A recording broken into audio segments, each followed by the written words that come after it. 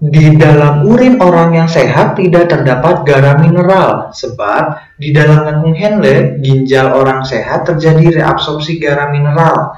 Nah, sekarang kita cek nih pernyataannya ya. Di pernyataannya ini kita lihat dulu komposisi urin. Komposisi urin orang yang sehat, orang normal. Jadi yang ada di uh, urinnya orang normal itu pertama ada air ya air. Nah, air ini dia 90%, 90% dari urin. Urin ya karena kan e, ginjal ini kan fungsinya untuk menyaring darah kan. Jadi dia bentuk sekresi, sorry, bentuk ekskresinya itu zat cair. Jadi dia sebagian besar terdiri dari air. Yang kedua itu adalah urea. Nah, ada urea, terus ada asam urat, asam urat dan ada amonia. Amonia. Nah, ini itu zat sisa, zat sisa dari pembongkaran pembongkaran apa? Protein atau asam amino ya amino. Karena nih urea asam urat dan amonia ini dia mengandung uh, senyawa nitrogen ya. Kan dari asam amino ini yang diambil itu adalah kerangka karbonnya sedangkan nitrogen itu dibuang kan. Nah diolah oleh hati menjadi urea asam urat dan amonia yang uh, dia itu nggak dibutuhkan oleh tubuh. Nah terus yang ketiga ada zat warna dari dari empedu empedu. Nah zat warna urin yang normal itu kan kuning ya. Kuning itu dia berasal dari bilirubin. Warna kuning ini berasal dari urobilin ya urobilin. Nah urobilin ini merupakan hasil perombakan perombakan bilirubin yang ada di bilirubin yang ada di sel darah merah. Sel darah merah. Nah, jadi urobilin ini, sorry ini tulisannya kurang jelas ya. Jadi urobilin ini memberikan warna kuning. Urobilin dia hasil dari perombakan sel darah merah. Nah, terus yang keempat ada garam.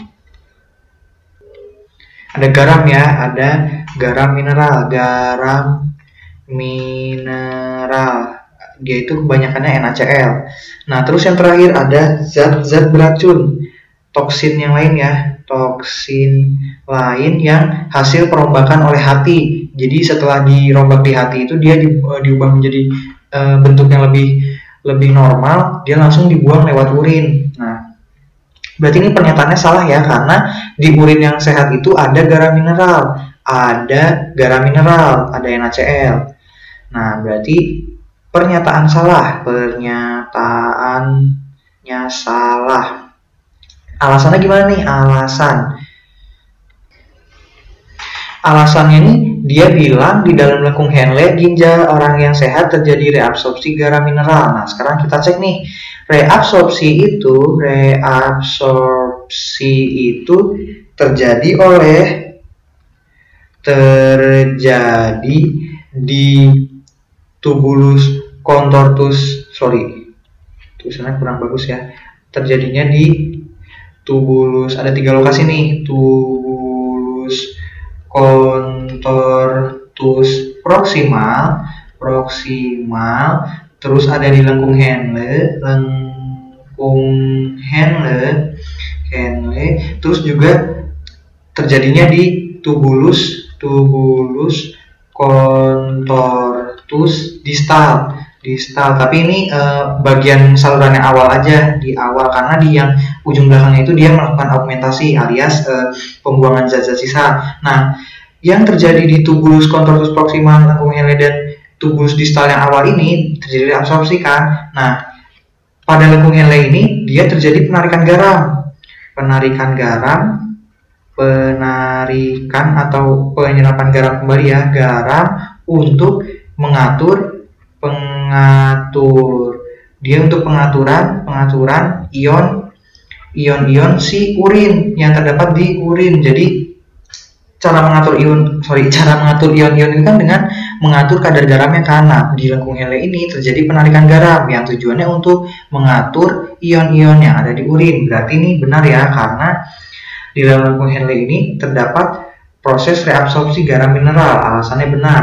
Benar, berarti pernyataan salah, alasan benar. Jawabannya berarti D. Alasan benar, pernyataan salah.